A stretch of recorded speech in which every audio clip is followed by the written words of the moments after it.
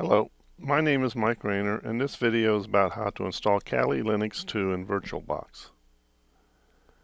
The outcomes for this video would be to download Kali Linux, the 64-bit ISO file, verify that the SHA-1 sum for the downloaded ISO file is correct, that the file is not corrupted, create a VirtualBox guest for Kali Linux, then install Kali Linux in the virtual guest, update to Kali Linux, then finally install VirtualBox guest additions in Kali Linux. Requirements would be an internet connection, VirtualBox installed on the host computer, host computer with enough additional RAM, random access memory to run Kali Linux, 758 megabytes the minimum for the main desktop, 1 gigabyte recommended, that's my recommendation, and then a host computer with enough additional storage to run Kali Linux. I recommend at least 20 gigabytes so you can get by with less. Additional info at the Kali org page. DistroWatch has a section on Kali. Offensive Security, that's the organization that builds Kali Linux. Then there's a little doc section at the Kali org page that explains how to install VirtualBox guest additions. While I researched this material, I can't fully verify that will work with all combinations of hardware and software out. So I've been asked to include a disclaimer. If you wish, you can stop the video and read the disclaimer. Here I am at www.kali.org downloads page, and I'm going to download a 64-bit Kali Linux. I'm going to download the ISO file because that's what I need to use with VirtualBox. Click right here where it says ISO file. And box opens up. You have chosen to open and I'm going to save the file. Click OK. And in my case, I'm going to put it in the Kali Linux folder. Click Save. You can put it wherever you want. However, you must be able to find it when you create your VirtualBox. Now, if you'll notice right here, it says 24 minutes on the download. So this is going to be a fairly slow download. And then afterwards, what I'm going to do is verify the download's not corrupt by SHA-1 sum. So I'm going to come back when it's fully downloaded. It's been about 25 minutes and you can see it's downloaded. If I want to verify that it's downloaded, I simply pull the uh, downloads Kali Linux folder and there it is. And you can see it's about 3.1 gigabytes. In the next section I'll verify the SHA-1 sum. Now I've downloaded Kali Linux and I've downloaded it to the F downloads Kali Linux directory where you download it. It may be a different place. And because it's been a fairly long download, I want to check the SHA-1 sum. In order to do that, I can use a program from Microsoft called FCIV. You'll have to install it on your Windows computer. The way to use that is just SHA-1 and then put in the file name If you hit tab, it'll pick the rest of it up. And it's going to take about a minute or two to go ahead and do that. You'll notice that it says File Checksum Integrity Verifier. That's what FCIV stands for. After about a minute or two, you'll notice that I've got the SHA-1 checksum, and you can go ahead and verify this letter by letter. If it's one off, you've got a corrupted download. You need to download Kali Linux again if all these numbers look kind of confusing, what you can do is put this in a file like this. I'll just call the file SHA-1 sum.txt. You can call it whatever you want. Hit enter. And again, wait a minute or two and it'll put it into that text file. Once you have that in the text file, I can go ahead and do a dir and there it is and if I put in SHA-1 text and hit enter, it will open up a notepad file. And I'm just simply going to copy this right here.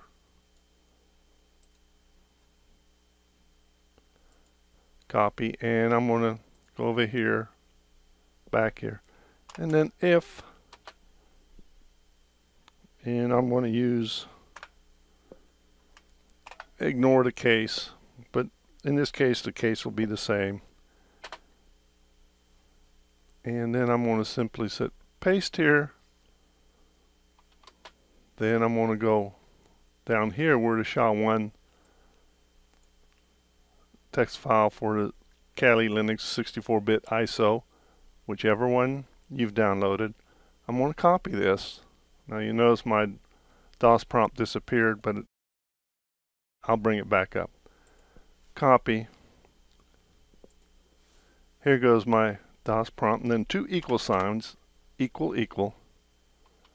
Hit a space, paste, and this is a string comparison. What you're going to do is put in an opening parenthesis, echo, match, they match, else, echo download again or whatever you want to put in here try download again and then hit enter. And you'll notice that it says a match. And just to show you that this works I'm going to come bring this back up change that B to a D hit enter and you'll notice this time it says try download again. And that's how you check and make sure that the downloaded file is not corrupt. Here I am in uh, Oracle VM VirtualBox Manager and I'm going to create a base machine for my Linux 2.0 64-bit install. I'm going to click new and I'm just simply going to give it a name Kali Linux 2 and the type is Linux and I'm going to pick Debian here. Debian 64-bit because it's based on Jessie, I believe. Well Wheezy or Jessie, I think it's got a little bit of both in there. Click next. And 768 megabytes is a minimum if you're using the uh, GNOME desktop but I'm going to give it a little bit more. Who knows? Somebody will be watching this video next year and they'll want more. So I'm going to click next here and I'm going to create a virtual hard disk and it says recommend size is 8 gigabytes but Kali installs to about 10 gigabytes and then you can't really use it because there's no extra hard disk space left I'm going to change that in a second click create and I'm going to use VMDK. That's because I can manipulate this a little bit better. But this is probably your best shot if you just have one or two virtual machines. The VDI. I'm going to click next again and dynamically allocated next and here I'm going to change this to 20 gigabytes you can change it to whatever you want you will have to use a command line if you want to go bigger than 20 gigabytes in the future. Click create. So now I have virtual machine. Let, I'm going to make some other settings here. We'll go up here to storage. And where it says empty, I'm going to point it to where Control IDE and empty. I'm going to point it to where I downloaded the Kali Linux file and let me choose virtual optical disk file. You can see right here it is computer wherever you've downloaded it. Right here I've got download Kali Linux and then this is two. Click open.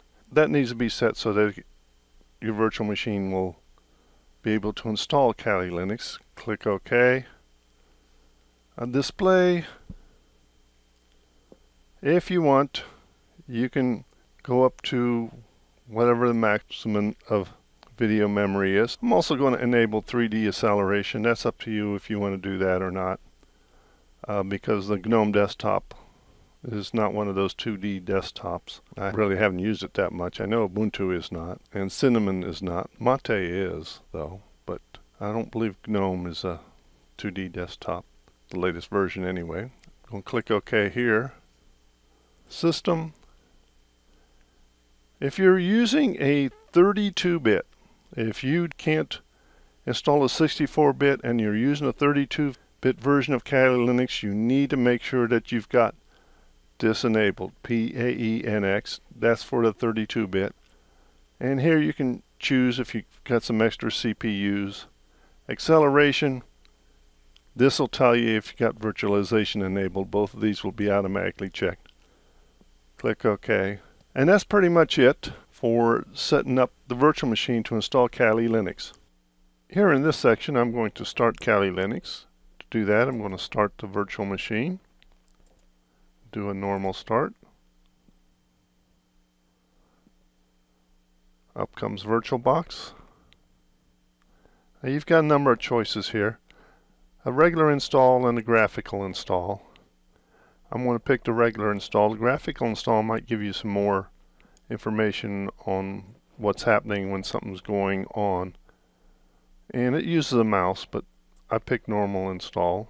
Since it's not operating off the mouse, I better go and use the down arrow key. Now don't worry about this invalid argument. We're ready to go.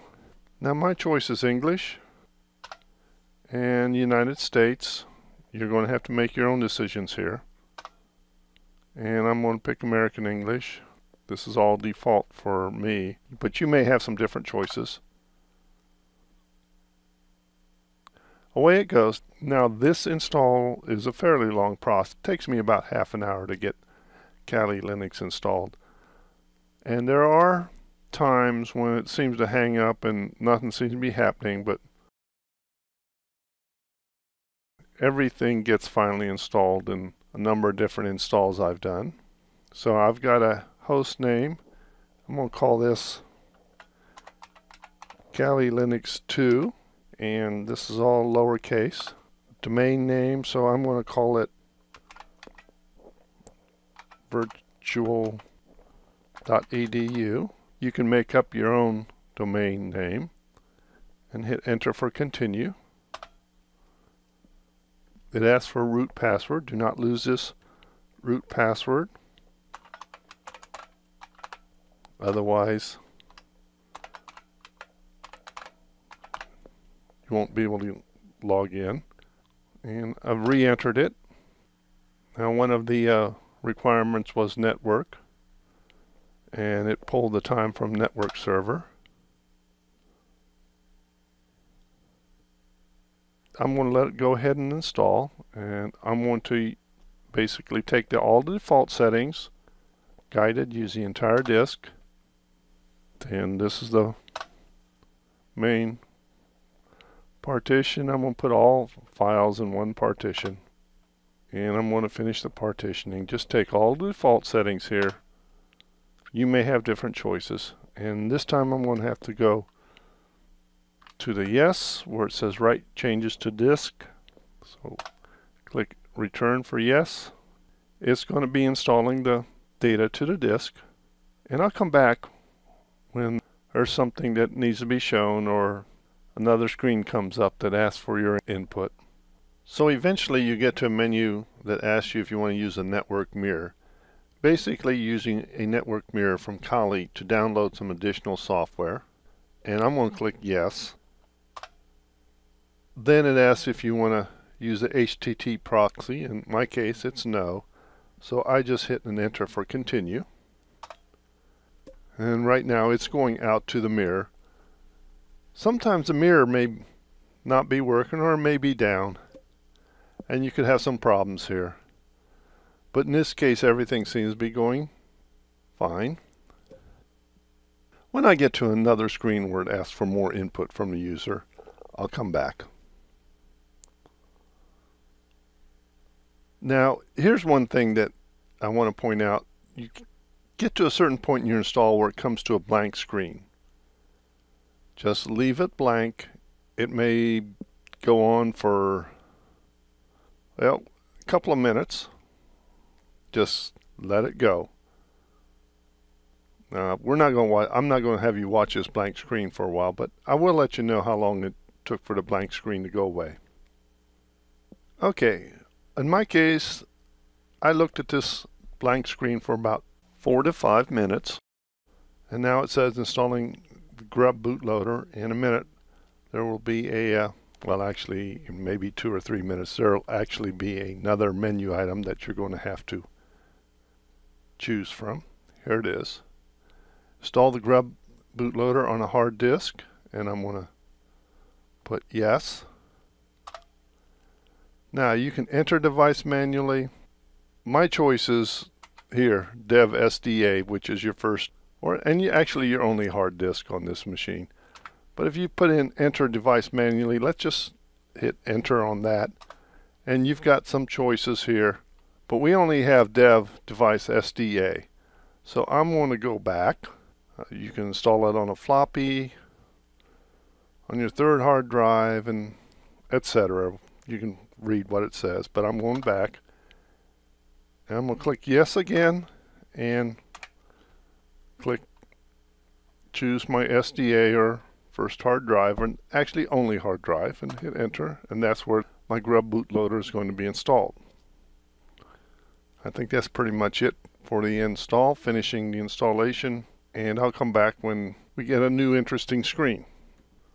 So finally, it comes up and says finish the installation, installation complete.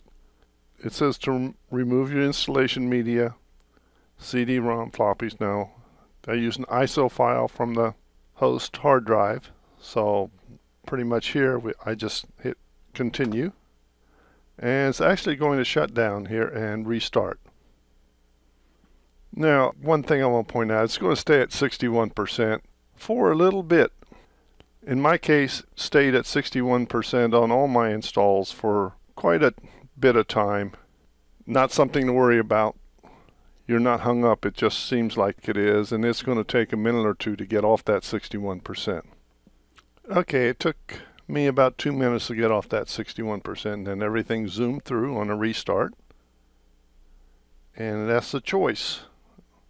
And I'm not going to pick advanced options. I'm just going to let it go by itself.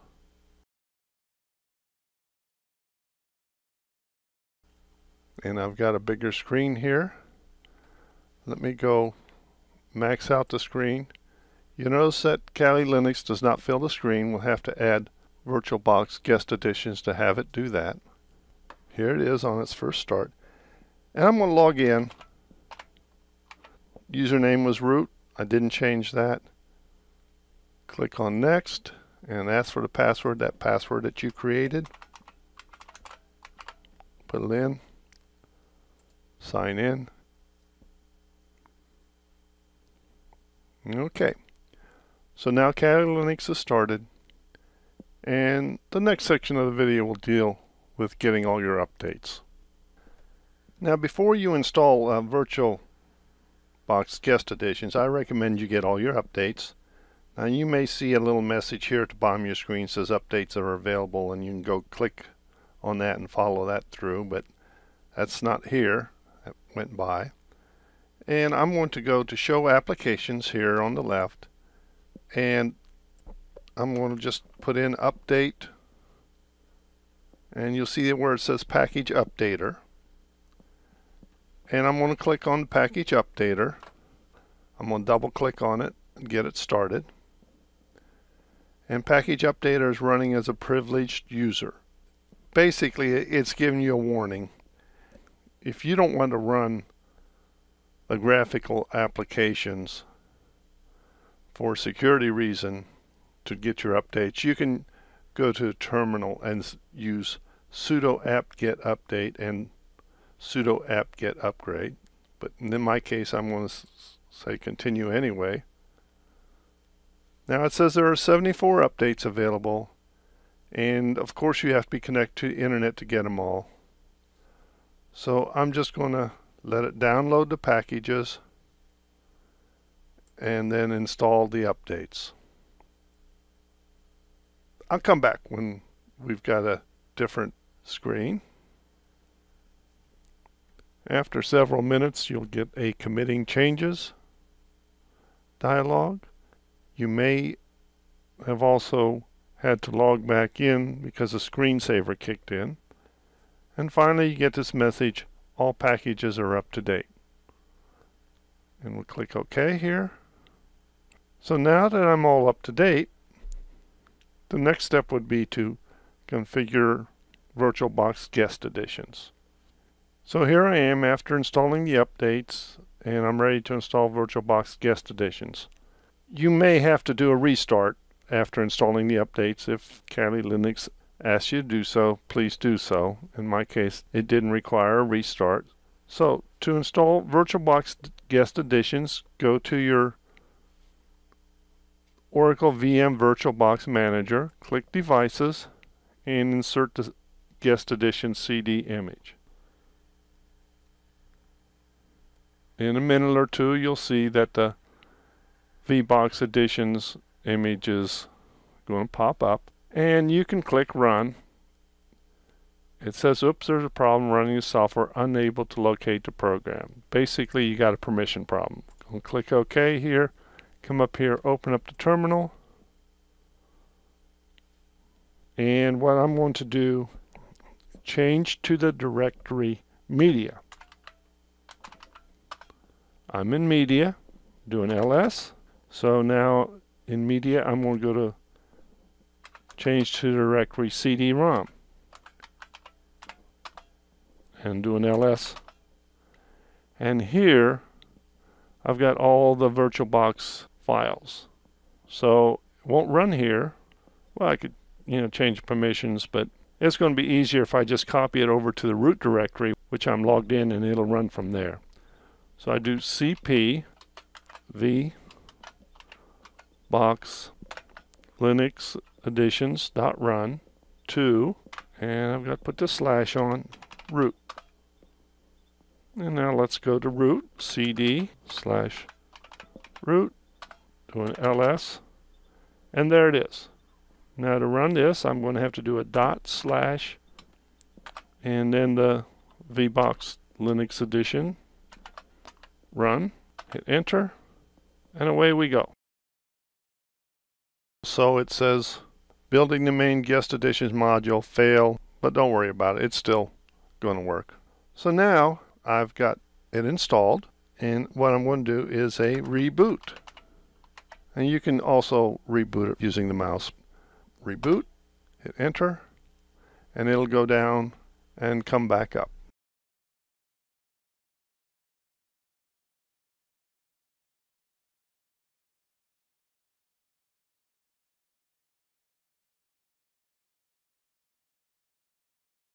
Now here I've got the full screen.